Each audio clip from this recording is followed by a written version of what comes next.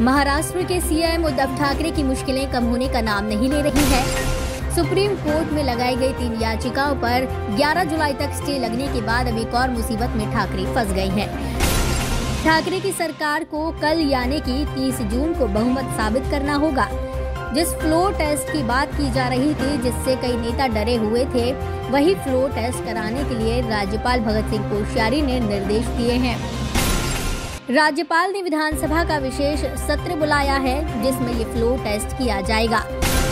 कल सुबह 11 बजे ठाकरे की परीक्षा होगी।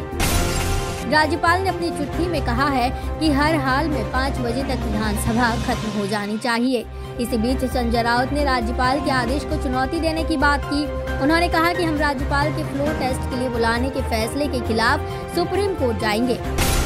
ये एक गैर कानूनी फैसला है, क्योंकि हमारे 16 विधायकों की अयोग्यता का मामला सुप्रीम कोर्ट में फ़िलहाल पेंडिंग है।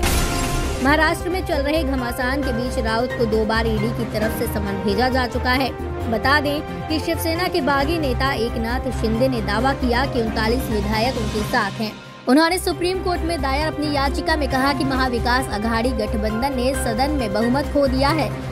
ऐसे में ठाकरे सरकार के लिए सरकार बचाना आसान नहीं होगा।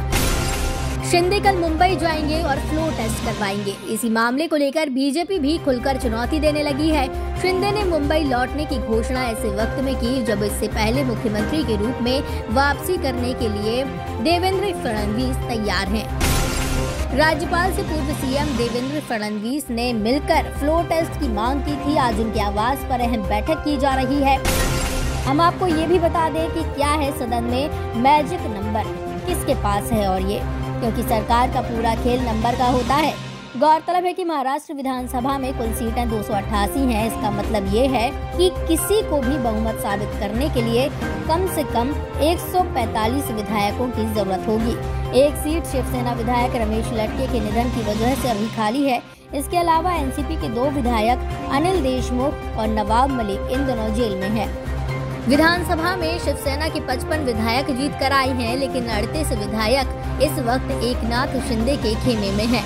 वहीं एनसीपी के तिरपन और कांग्रेस के विधायकों की संख्या चवालीस है इन दोनों के समर्थन से उद्धव ठाकरे महाराष्ट्र की महाविकास अघाड़ी सरकार के मुख्यमंत्री बने हैं। इसके अलावा बहुजन विकास अघाड़ी के तीन समाजवादी पार्टी एआईएमआईएम प्रखर जनशक्ति पार्टी के दो दो विधायक हैं।